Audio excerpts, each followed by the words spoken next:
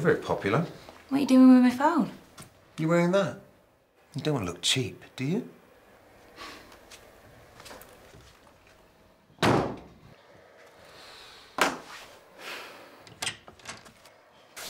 Now, um, you're not gonna make a fool of yourself tonight, are you? I love you too much to let you do that. Abuse in relationships isn't always physical. For information and help, search This Is Abuse.